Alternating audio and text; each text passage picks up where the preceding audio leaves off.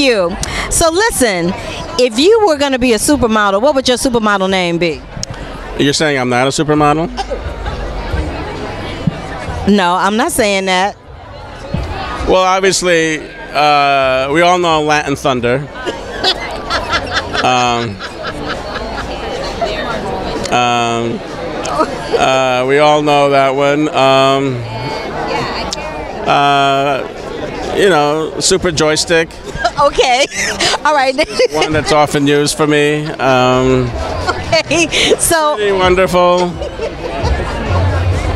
okay, you make me laugh. Hazel Honey, because my eyes For are. your eyes are hazel. Um, so, what's making you feel pretty tonight?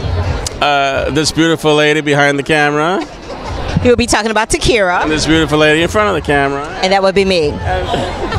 And just the fact that I'm so psyched to be a part of this movie. Like, I'm proud of it. I'm proud of the message. I'm proud I showed up for it. I'm proud I did my best. And I feel that's the message. Like, if you just take ownership of who you are as a person and show up for your life, that's when you will feel pretty, you know? And I feel that's a good message these days. What do you have coming up next? Uh, just shot a pilot with Norman Lear. oh. 95 and still shooting pilots. May it happen to all of us. It's called I uh, Guess Who Died. Uh, What's the premise? it's like a, a look at senior citizens at this uh, nursing home and all the crazy stuff that goes on there. And believe me, it is funny as hell. We got Christopher Lloyd from Back to the Future, Hector Elizondo from Pretty Woman. it's a phenomenal And you?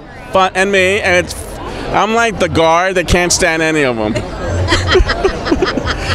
and it is funny as hell. I hope we get picked up. We'll find out next month. What network would it be on if if you do get picked up? Where can we look for it? Uh, NBC. okay. Yeah. All right. Well, congratulations with that, and good luck. I'm blessed. Thank you. Good luck with I Feel Pretty. Uh, thank you so much. Thank, Thank you for You stopping. have a wonderful smile. Oh, thank you so much, Very nice Adrian. meeting you. Nice meeting you. Oh, bless you. Bye bye.